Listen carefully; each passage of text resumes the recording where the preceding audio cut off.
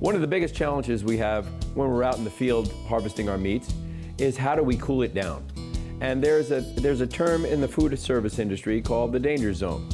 And that is between 45 degrees and 140 degrees Fahrenheit.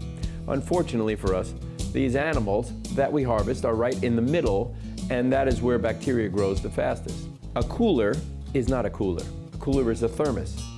It doesn't know if it's supposed to trap the heat in or trap the cold in. So when you're out there and you're harvesting a deer or an antelope, make sure they're cooled before they go into this cooler and then pack them with ice because once it goes inside of this, with ice or not, it's insulated and the heat cannot escape and you cannot get that meat out of the danger zone. There's been many a person who has left Wyoming and coming back to California only to find three days later that his antelope was horrific in smelling like, like somebody's old laundry.